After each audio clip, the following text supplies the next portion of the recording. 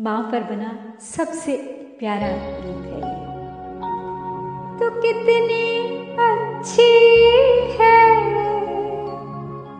तो कितनी भोली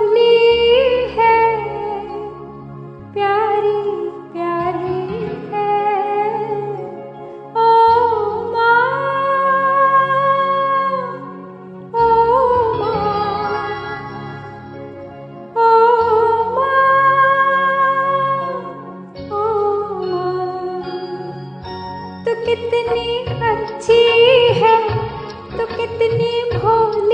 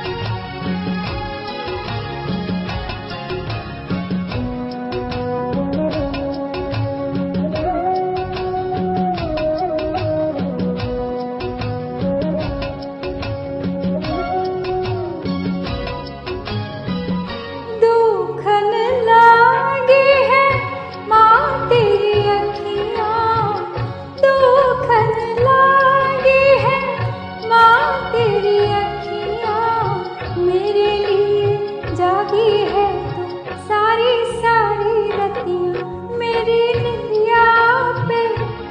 अपनी